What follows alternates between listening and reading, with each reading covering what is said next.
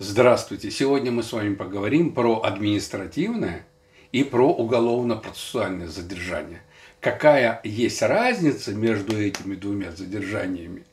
Какие возникают права, когда вы получаете статус подозреваемого, а, когда начинает исчисляться срок вообще задержания? Итак, меня зовут Павел Тылик, я бизнес-адвокат, занимаюсь вопросами, связанными с защитой бизнеса как при проведении э, контроля за предприятиями со стороны государства, так и при уголовном преследовании предпринимателей. Итак, обо всем по порядку. Ну, как я уже сказал, задержание может быть в рамках Уголовно-процессуального кодекса, а может быть в рамках КОАП. Но это 27.3 статьи Кодекса об административных правонарушениях. Разница между этими видами есть. Допустим, часто сотрудники ДПС сначала оформляют административное задержание, к которому они привычны, а потом оказывается, что вообще-то здесь не административное правонарушение, да, а уголовное правонарушение, то есть усматриваются признаки состава преступления. И в этом случае административное дело должно быть прекращено, и вот уже административное задержание перерастает в уголовное задержание.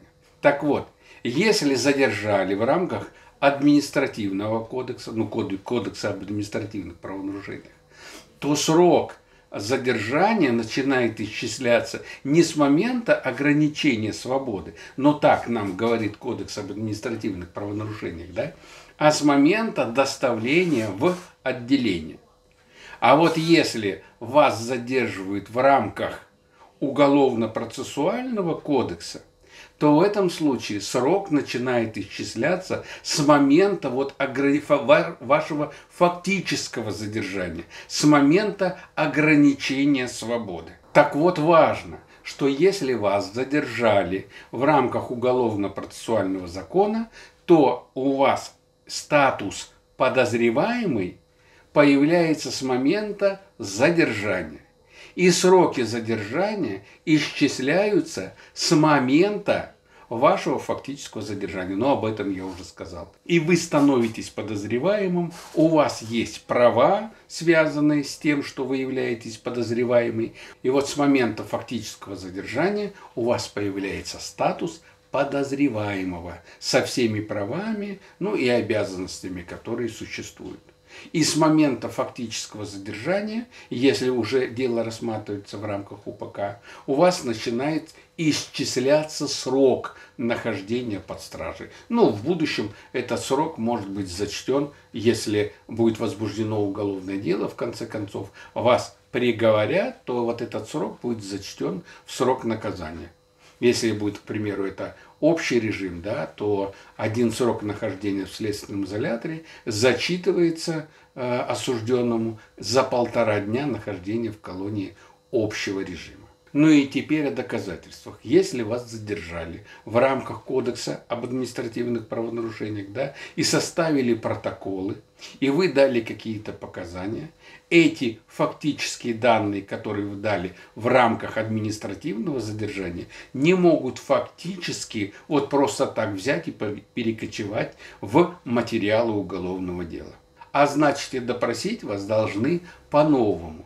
И здесь, так сказать, две больших разницы. То, что вы, те показания, которые вы давали в рамках АПК, не будут, так сказать, иметь значения в рамках, э, как вот если бы вас допросили, или как вас допросят в рамках Уголовно-процессуального кодекса. Здесь есть небольшая хитрость, когда следователь или дознаватель будет вам говорить, но вот вы же в рамках Э, задержания, вы же уже дали показания в рамках КОАП, или вы же ранее давали совсем другие показания, а вот здесь пытаетесь нам рассказать какую-то другую историю. Вы сейчас вводите следствие в заблуждение. Как на это реагировать? Отвечаем именно так, как позволяет это сделать Уголовно-процессуальный кодекс. То есть мы можем говорить неправду, если вы подозреваемый. Вы можете защищаться любыми незапрещенными законом способом. Вы можете пригласить адвоката и без адвоката не давать показаний. Итак, еще раз вывод.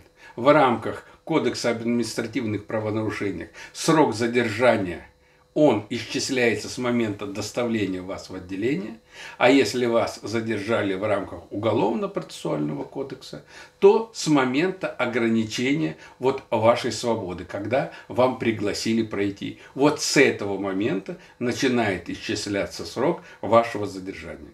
Если вас задержали в рамках Кодекса об административных правонарушениях, а потом правоохранители изменили свое отношение к вашему, так сказать, нарушению и хотят возбуждать уголовное дело, то, опять же, срок задержания начинает исчисляться не с момента, когда они решили, так сказать, изменить свою точку зрения, зрения на ваше деяние, а с момента, когда фактически ваша свобода была ограничена. Еще больше информации вы можете получить на моем YouTube-канале. Подписывайтесь на мой YouTube-канал. У меня есть телеграм-канал. Подписывайтесь на телеграм-канал. В телеграм-канале вы можете задать несрочные вопросы, на которые я обязательно отвечу.